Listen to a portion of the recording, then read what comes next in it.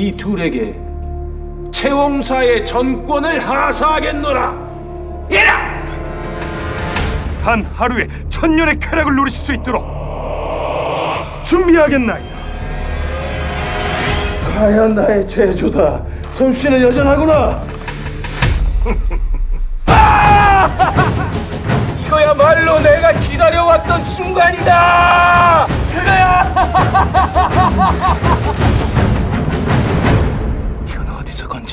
보물인고? 도대체 네가 얘기하는 가신이 무엇이더냐? 강한 놈 적고 약한 놈 적히는 것이지. 누가 널 죽이기라도 한다든 그저 왕처럼 놀아보고 있거든. 우리를 소인이라고 칭했던 놈들 모두 목숨을 구걸하게 될 것입니다. 소인 전하를 위해 신명을 다했사옵니다.